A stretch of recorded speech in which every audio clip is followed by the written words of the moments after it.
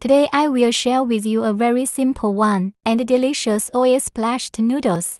A plate in the noodle shop sells for 28. The cost of doing it at home should not exceed 5 yuan. Spicy to satisfy One big cravings. plate is not enough. Here we go. Let's see how it's done. When we choose noodles, you can choose this white surface, strength cube bomb. It tastes delicious. Prepare a few small rapeseed. Add a tablespoon of table salt. Then pour in a little more water. Then start cleaning all the small rapeseed. We call this dish cabbage here.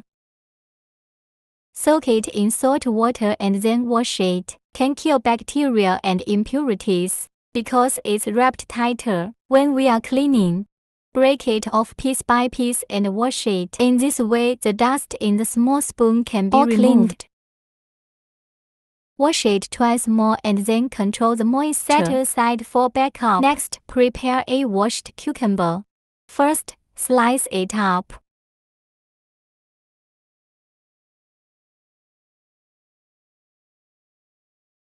Friends who like to eat bean sprouts can also use bean sprouts. Cut it all and put it on a plate for later use. Cooking noodles is inseparable from Prepare shallots. some shallots and cut them into scallions. After cutting, put it in a bowl for later use. Next, prepare a few cloves of garlic. First, slice it up. Then chop all the garlic into minced garlic.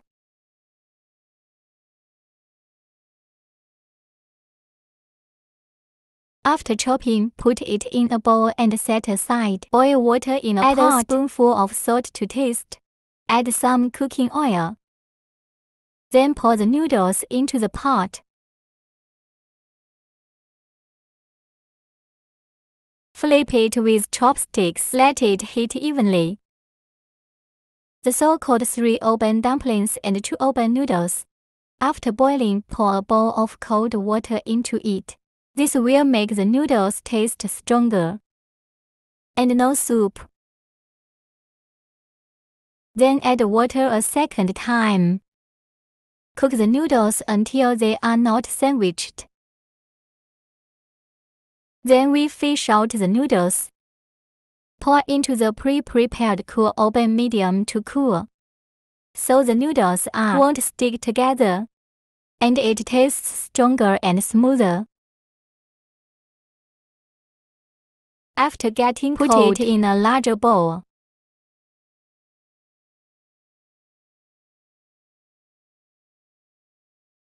Add the water in the pot to the small rapeseed. Flip it with a spoon. Just cook the small rapeseed.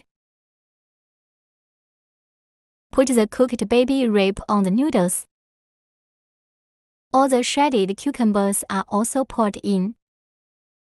Then pour in a spoonful of light soy sauce. Add a spoonful of balsamic vinegar. A little chicken essence. Then add minced garlic. The scallions are also added with a spoonful of white sesame seeds. If you like spicy food, be sure to add a spoonful then of pour chili hot oil twice. Inspire fragrance. Mix well with chopsticks so that each noodle can be evenly wrapped in the sauce.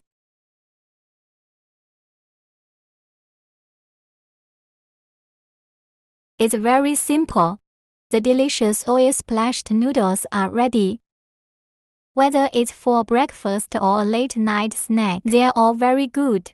If you also like noodles, just collect it and try it. Well, today's video is shared here. If you like my video, remember to like and follow the message and forward it. Click on my avatar to see more food videos. See you in the next video. Thank you for your support.